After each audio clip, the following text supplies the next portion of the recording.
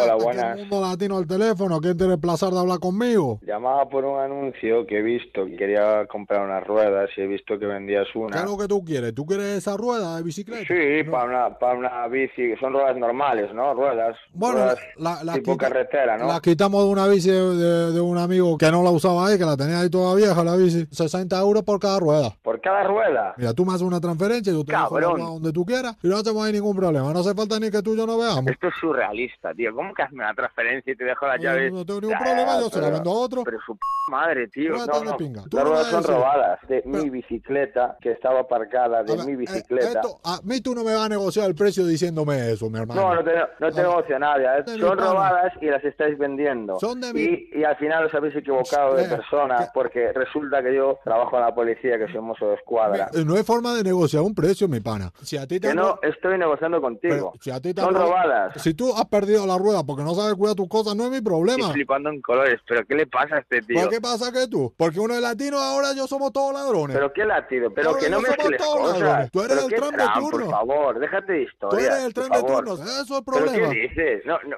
pero Donald porque no, que no, que no, tío, que no quiero nada, que te vayas a tomar por c ya, la bici, las ruedas, todo, que paso de todo, que no Para- quiero nada. ¿Qué pasa? Mi, mi rueda no vale porque son latinas. El hijo No Trump, valen. o sea, me ha dicho racista, luego me ha dicho mini Trump, que te den, tío, Mira, que me dejes ya. Que tú porque no. soy latino no me quieres, Donald Trump. Hombre, venga, esto es lo que me faltaba por, por escuchar ya. Pero venga, hombre, que te den por c tío. Mira, olvídame, olvídame, Mira, déjame, déjame. mi- Mira lo que te voy a decir. Para que tú ¿Qué no creas, a que, decir? para ¿Qué que tú no creas decir? que son robadas la bicicleta, te voy a pasar aquí con el verdadero dueño de la bicicleta. ¿Pero qué dices? Michael, que era una broma para Levántate y Cárdenas, Qué tío. Cabronazo. comido con patatas. Yo soy Coco de Europa FM de Levántate y Es que es Cárdenas. imposible, tío. O sea, además es que yo escucho el programa cada Nos mañana. estamos descojonando, pero de lo lindo, ¿eh? Te lo has preparado, ¿eh? Un saludo para el programa de Cárdenas, para todo su equipo. Saludos.